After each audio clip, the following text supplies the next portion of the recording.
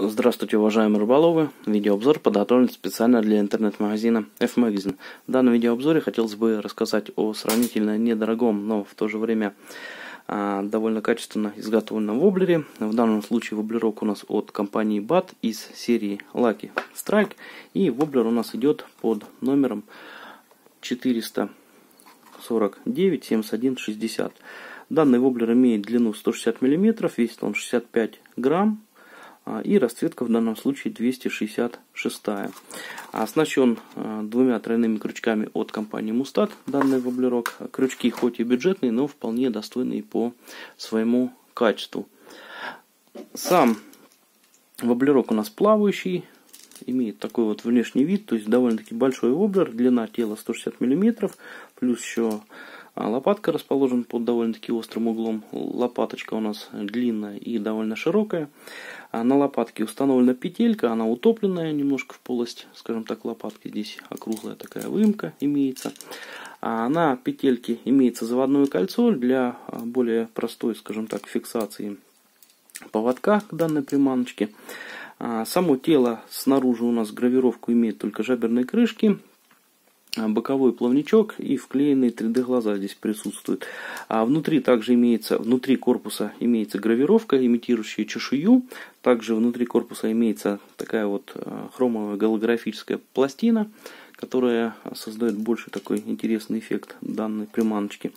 А, окрашен воблер, а, как я понимаю, тоже изнутри. А, то есть здесь это все стираться не будет. Оранжевая брюшка, темная спинка и спина переходит в такой вот светло-голубой и бесцветный оттеночек. Оснащен воблер двумя крючками. Крючки мустадовские, повторюсь, очень мощные, очень крупные. Как можно видеть, одни крючки здесь чего стоят. А также заводные кольца здесь мощные, с плотным витком. Ну, все здесь видно, создано для поимки крупной трофейной рыбы. Воблерок у нас имеет шумовую камеру. К сожалению, довольно-таки тяжело проверить. Воблер на самом деле довольно-таки тихий. при резких взмахах, при резких рывках у него грузик немножко двигается внутри корпуса. Сейчас, к сожалению, не получается это продемонстрировать. Но а, легкий такой звук у него имеется, практически бесшумный. Воблер подойдет а, в большей степени для ловли троллингом. Можно использовать для ловли в заброс, но опять же использовать придется кастинговую, в основном джерковую какую-нибудь снасть для тяжелых приманочек, так как воблер помимо того, что тяжелый, он довольно-таки упористый в проводке. А, проводить, а, если используем а, спиннинговую, ну то есть кастинговую какую-то снасть при ловле в заброс, проводить можно равномеркой, либо стоп go. Ну и на троллинге, соответственно, также равномерная проводка, грубо говоря, с периодическими поддергиваниями.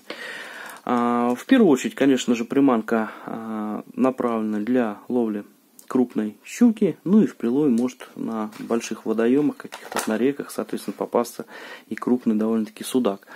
А воблерок сравнительно недорогой, изготовлен он довольно-таки качественно. А приобрести его можно, пройдя по ссылке в описании под видео на сайте интернет-магазина F-Magazine. Также в описании под видео можете найти промокод рыбалка34, который дает скидку до 20% на многие бренды, представленные в ассортименте данного интернет-магазина. Всем, кому данный видеообзор был полезен, ставьте лайки, подписывайтесь на канал, пишите комментарии под видео. Всем спасибо за просмотр. До свидания.